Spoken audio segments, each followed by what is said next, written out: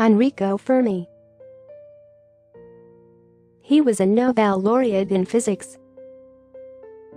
He was born in Rome, Italy on 29 September 1901. His father's name was Alberto Fermi, and mother's name was Ida de Gattis.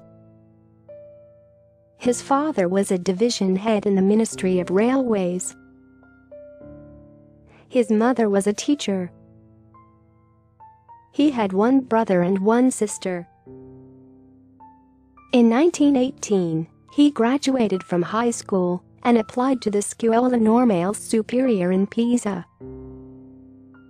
In 1922, he earned his doctorate degree in physics. In 1923 he won a scholarship from the Italian government. In 1924, awarded a Rockefeller Fellowship.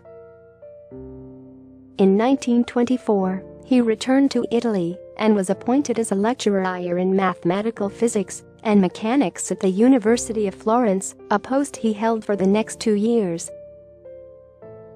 In 1927, he landed a position as a professor at the Sapienza University of Rome.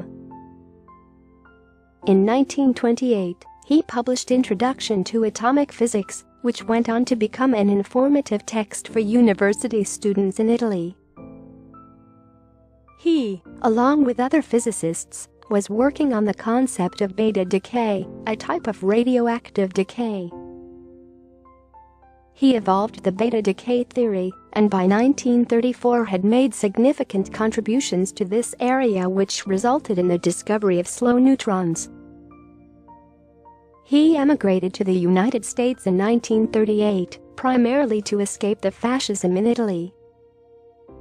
In 1942, the posts of a professor at the Columbia University, where he served till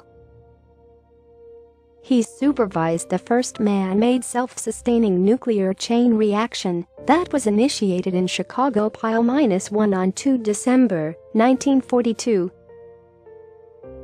In 1944, he became an American citizen and was appointed a professor at the Institute of Nuclear Studies at the University of Chicago. He married Laura Capon on July 19, 1928. The couple had two children.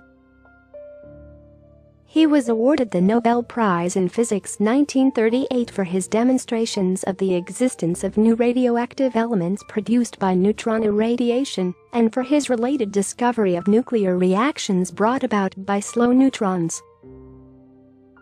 The Hughes Medal was presented to him in 1942 for his outstanding contributions to the knowledge of the electrical structure of matter, his work in quantum theory, and his experimental studies of the neutron.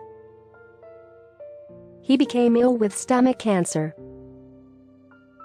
He died in Chicago, Illinois, the United States, on 28 November 1954, at the age of 53. Ignorance is never better than knowledge, said Enrico Fermi.